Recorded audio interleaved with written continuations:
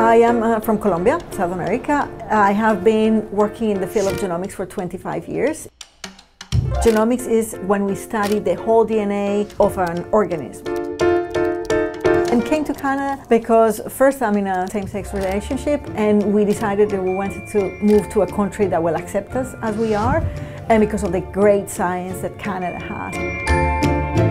One of my favorite things in genomics is to uh, work with a microscope and see the cells, the colors, and see all these amazing changes in our genomes.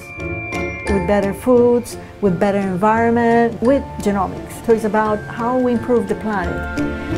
I have lived in six different countries. I have traveled to more than 50 different places. It's just incredible what I have discovered through this job.